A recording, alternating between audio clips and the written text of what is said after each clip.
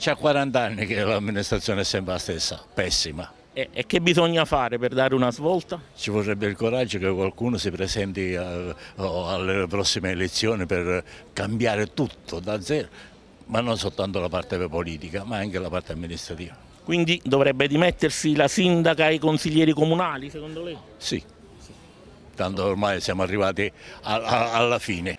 Sono scontenti i battipagliesi dell'amministrazione comunale della sindaca Cecilia Francese per come governano Battipaglia. La sindaca, prima di essere eletta, ci fece una promessa per quanto riguarda la spazzatura.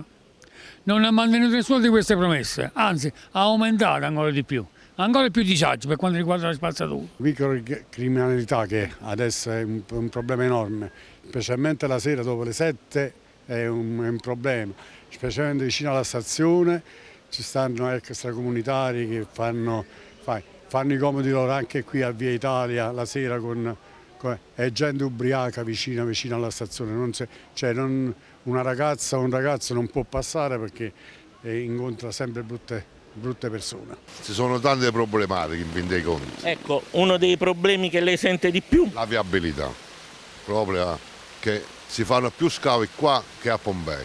Ho detto tutto. Giusto. Poi ho visto l'altro stanno scavando in fondo a via Mazzini, in fondo là.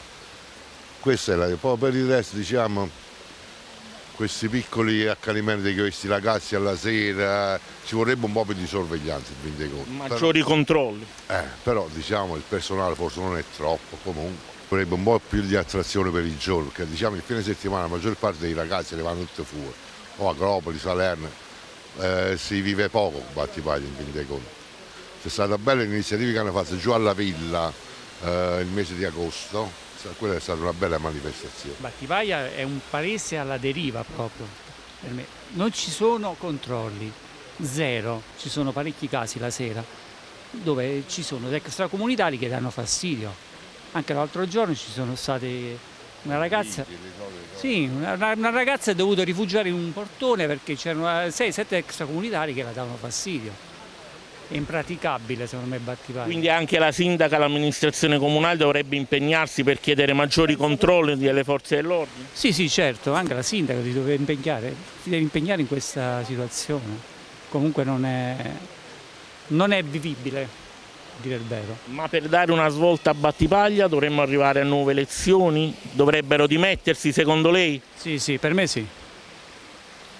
Si dovrebbe dimettere, la sindaca si dovrebbe dimettere, anche perché fino ad oggi non ha, non ha fatto mm, nessun passo avanti.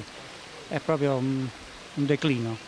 Battipaglia, Battipaglia è molto bella, molto felice qua. Però è un problema qua trovare casa molto difficile. Non si trova casa? No, qua. E non è di qua? No, io abito qua, però io cercare casa per molto difficile qua in Italia.